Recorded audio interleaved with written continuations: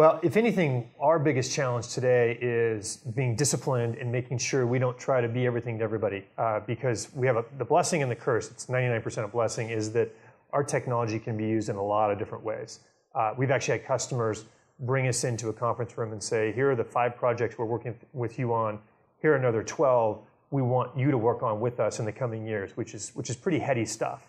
Um, but by the same token, we have to stay true to, to what we're trying to solve today and set ourselves up well for the future. So, you know, in, in under the under the rubric of big data, uh, we've had a lineage in more on the reactive side, and e-discovery and, and compliance, and, and, now governance. We talked about. Increasingly, we're going to expand, um, not to the exclusion of, of, what we've done today, but but to complement it on on the proactive side, to allow business users to be able to access and find information and maybe even have information find them that is relevant to them.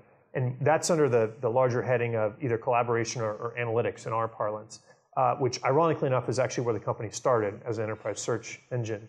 Um, so for us, it's all coming full circle, and the future is very bright. We're very excited about it. Uh, but obviously, we need to stay focused and make sure we're staying true to our customers.